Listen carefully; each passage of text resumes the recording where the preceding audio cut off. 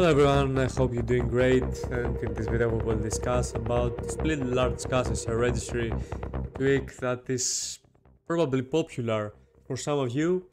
Many users asked me to make this video to test the latency of this registry and also we will discuss about if it exists or not.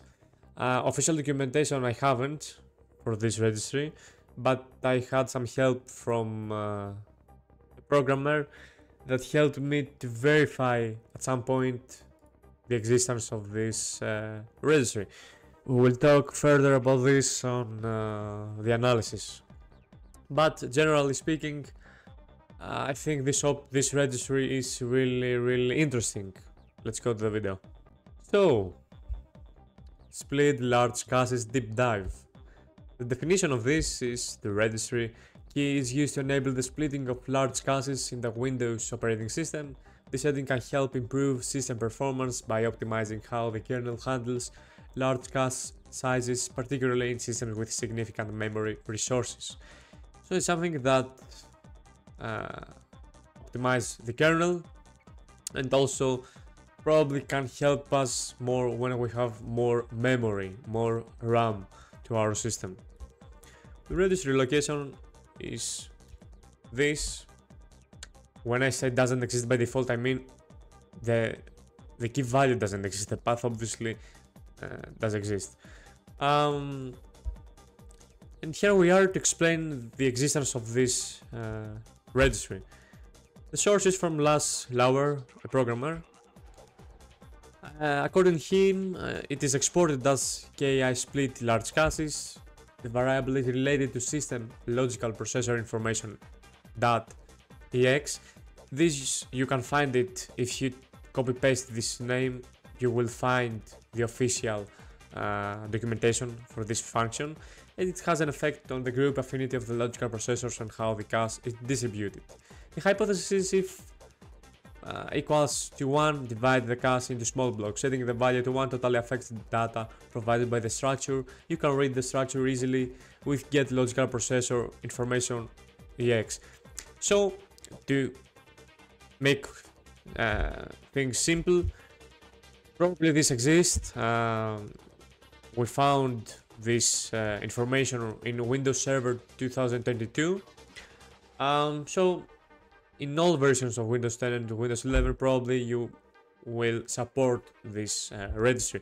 So I can say that uh, I'm pretty sure that this option exists. Let's go to the capturing and analysis method. Not something new, same uh, method, same tools, same machine, same gaming conditions for Fortnite and CS2. So let's come to the latency in Fortnite. In DirectX as we see, when we enable by default, as we said, it it is disabled and actually doesn't even exist as a registry in uh, the registry. So by default is disabled. So when we enable it, DirectX has some significant improvement, as we can see, the most uh, uh, metrics. From the other hand, the NTOS kernel doesn't seem to be very, very happy with this option, but actually we can't say that we have some very huge difference. If we compare the differences with DirectX kernel, here all things are almost the same. Same thing for uh, WDF. Um, and here we have a summary in Fortnite. As we see, DirectX kernel had 6 metrics that was better when we changed this option, the other metrics was the opposite. Now, the reason probably that I can imagine this happening is because I testing in games and the system utilized this driver.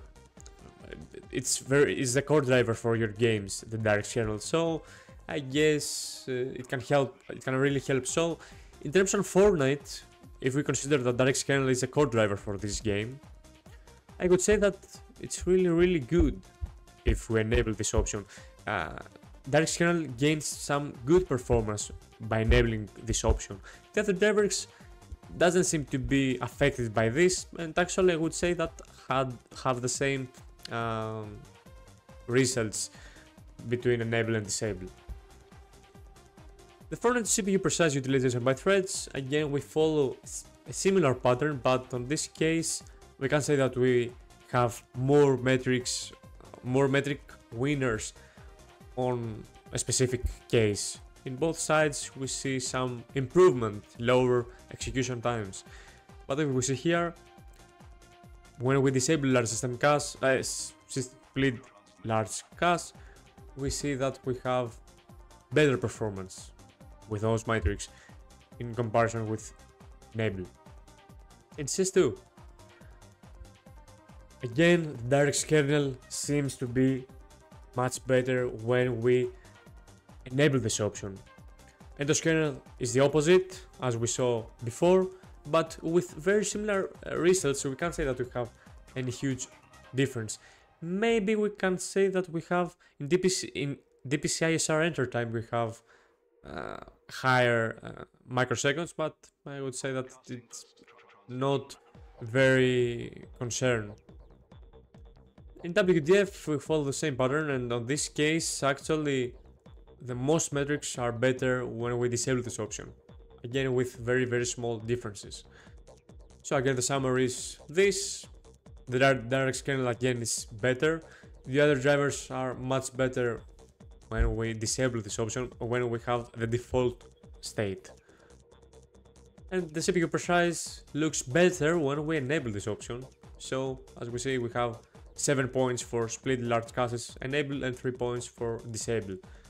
So before we say the conclusion, let's see some observations. This is a metric in, in thread part in CPU precise and in Fortnite we had in split large caches enable this number. And we, when we, we disable this option, the default, we have this. Same with CS2. And as we see, we have the same uh, type of results, the same type of data in both games.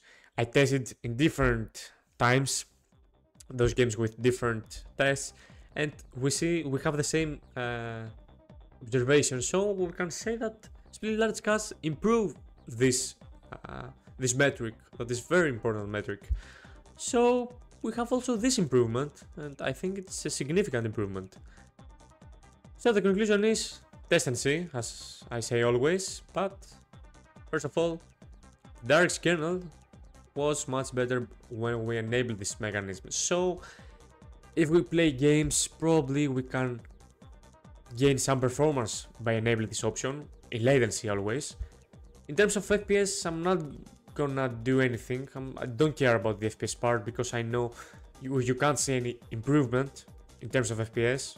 Um, as with the old metrics, with the old uh, tweaks, sorry, uh, this also tweak doesn't change anything in terms of FPS. Maybe in frame times, maybe in stutters, maybe on something else. But don't expect more FPS by chance only one uh, registry tweak. So, my opinion is use it, test first, but you should give a try. And especially, I would like to have your uh, point of view and your test results, your opinion about if you had the same result with the DirectX kernel and if you had something similar with this metric, if you decide to test with uh, Windows Performance Toolkit. Anyways guys, uh, thanks for watching, uh, I hope you enjoyed that, this video and see you soon.